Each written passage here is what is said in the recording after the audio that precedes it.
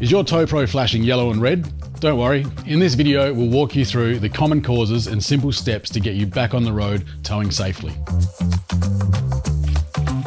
The TowPro has a built-in fault detection system that uses the remote head LEDs to alert you to any problems with the braking system or the installation. As braking performance may be affected, it's recommended to avoid towing until the fault is rectified. A flashing yellow and red remote head can mean a few things, so let's identify the fault. If the TowPro remote head LED is yellow and flashes red once, it's indicating a short circuit somewhere on the blue brake output wire. Additionally, if it's yellow and flashes red twice, it's indicating there is a short circuit somewhere on the red brake light circuit. Both faults can be caused by poorly secured or loose wiring in the trailer plug and trailer base. To diagnose these faults, first remove the covers from both the trailer plug and trailer base. If necessary, detach the trailer base from its vehicle mount. Carefully inspect all the wiring.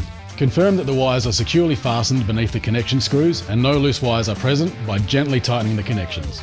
If you're experiencing one red flash, pay particular attention to pin 5, the blue wire, and pin 3, the earth wire. If you're experiencing two red flashes, you will need to pay attention to pin 6, the red wire, and pin 3, the earth wire. Once this is complete, reattach the covers, refit the base to the vehicle, and connect the trailer plug to the base. Test the TowPro by pressing the remote head and check if the fault code is still being displayed. If the issue persists, check that the TowPro trigger wire hasn't been worn through or damaged. To do this, first locate the TowPro main unit, usually mounted under the dashboard, and follow the unit's red wire. Check that no sections of the wiring insulation have been broken, ensuring that no wire strands are exposed.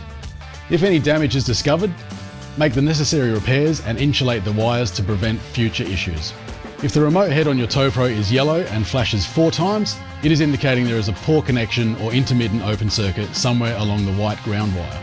This poor connection could be caused by a painted surface, loose grounding bolt, bad eyelet crimp or bad solder joint. To check this, trace the white wire from the main unit to locate the connection to the vehicle ground. Once this connection point is found, check that there is metal to metal contact between the vehicle ground and eyelet. If the connection is not metal to metal, remove some paint where the earth eyelet comes into contact with the vehicle body. Also, ensure that the eyelet is suitably crimped to the wire. Give the ground wire a slight tug. You should not be able to pull the crimp from the wire. If you have followed these steps and your TowPro remote head is still flashing yellow and red, please contact RedArc Technical Support and for more tech tips head to redarcelectronics.com.